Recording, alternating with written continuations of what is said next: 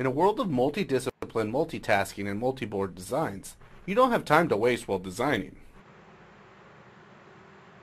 Altium Designer 18 leverages 64-bit architecture to provide optimum performance, native 3D model rendering, and automation to your design workflow. Maximize your design scope and minimize costs with multi-threaded design automation in a unified design environment. Altium Designer 18 improves on performance so much that earlier versions can't keep up at twice the speed. When you have a solid software architecture assisting your entire design workflow, you maximize your design resources without worrying about getting bogged down by your system. Design automation features like automated polygon repouring, online DRC, and physical connectivity analysis can leverage your full system memory, so you can let your RAM do the heavy lifting and you can see the difference in performance.